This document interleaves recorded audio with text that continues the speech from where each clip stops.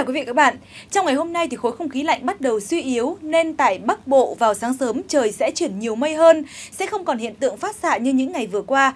Vì vậy, nhiệt độ thấp nhất sẽ có xu hướng tăng hơn và phổ biến ở mức là từ 14 đến 17 độ. Riêng một số nơi thuộc vùng núi cao, nhiệt độ có thể hạ xuống dưới ngưỡng 11 độ C. Vào ban ngày mây sẽ mỏng dần và trời sẽ chuyển nắng nhẹ lúc trưa chiều. Nhiệt độ cao nhất sẽ phổ biến ở mức là từ 18 đến 21 độ. Riêng một số nơi thuộc Tây Bắc, nhiệt độ cao nhất có thể đạt tới ngưỡng 22 đến 23 độ. Thời tiết đáng lưu ý nhất trong ngày hôm nay cũng như trong một hai ngày tới là tại các tỉnh thành Trung Bộ. Do tác động của nhiễu động trong đới gió đông nên ở tại khu vực Trung và Nam Trung Bộ, đặc biệt là các tỉnh từ Thừa Thiên Huế, cho đến Bình Thuận sẽ có mưa vừa mưa to. Người dân khu vực cần phải đặc biệt lưu ý. Đồng thời du khách cũng nên hạn chế đến đây để đảm bảo an toàn. Do mưa nhiều nên nền nhiệt độ cao nhất tại khu vực này cũng có xu hướng giảm hơn, chỉ phổ biến ở mức là từ 24 đến 27 độ. Còn đối với các tỉnh phía Bắc của miền Trung, từ Thanh Hóa đến Quảng Trị, mưa xảy ra ít hơn, chỉ xuất hiện rải rác tại các tỉnh phía Nam. Nhiệt độ cao nhất phổ biến là từ 21 đến 24 độ.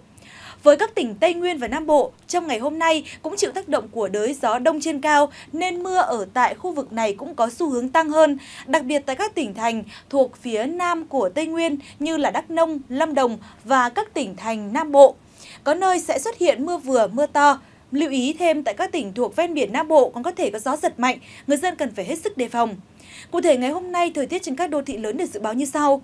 Thưa quý vị và các bạn, trong ngày hôm nay tại thủ đô Hà Nội, trời vẫn nhiều mây và có sương mù vào sáng sớm. Nhiệt độ lúc 7 giờ sáng nay phổ biến ở mức là 15 đến 16 độ. Và ban ngày thì trời sẽ giảm mây và đến trưa chiều có lúc sẽ hửng nắng nhẹ, tạo điều kiện thuận lợi cho người dân và du khách tham gia các hoạt động ngoài trời. Nhiệt độ cao nhất phổ biến ở mức là 19 đến 20 độ.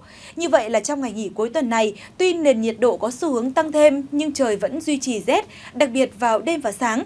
Để tránh bị nhiễm lạnh, ngoài việc mặc ấm thì quý vị có thể bổ sung trong bữa ăn hàng ngày những thực phẩm có thể làm tăng nhiệt độ cơ thể như là tỏi hay là gừng chẳng hạn.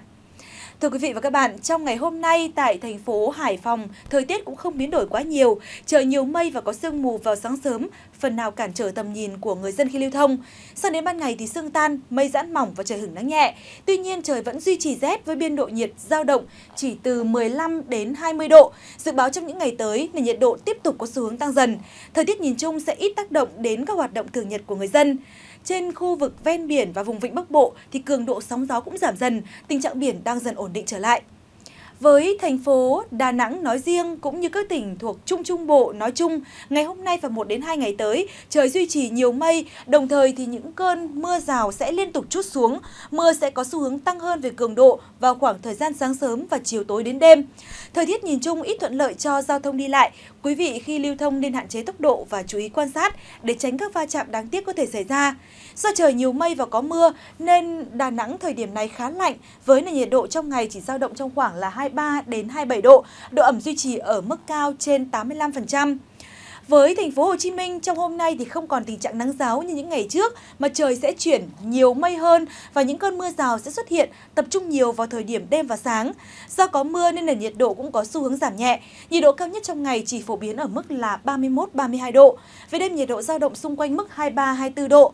Nhận định đợt mưa trái mùa này còn kéo dài khoảng 2 ngày nữa, quý vị nên lưu ý sắp xếp công việc hợp lý để tránh bị ảnh hưởng do điều kiện thời tiết. Cũng như các tỉnh miền Tây, thành phố Cần Thơ, ngày hôm nay trời có xu hướng là chuyển nhiều mây hơn và có mưa.